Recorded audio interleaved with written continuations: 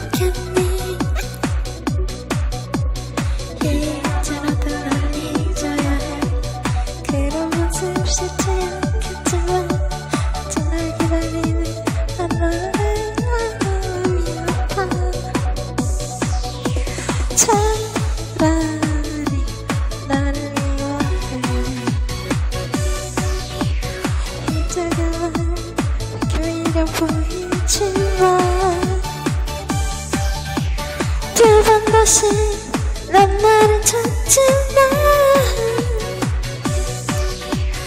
나를 이만